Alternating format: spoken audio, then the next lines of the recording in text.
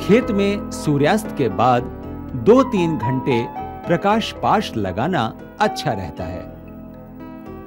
प्रकाश से कीटों के पतंगे आकर्षित होते हैं और नष्ट हो जाते हैं। इसी प्रकार जिनके पास प्रकाश पाश नहीं है, वे किसान भाई अपने खेत में लालटेन या साधारण बल्ब जलाकर इसके नीचे परात में कैरोसिन मिला पानी रख सकते हैं। बल्ब से पतंगे आकर्षित होकर परात में गिरकर नष्ट हो जाते हैं।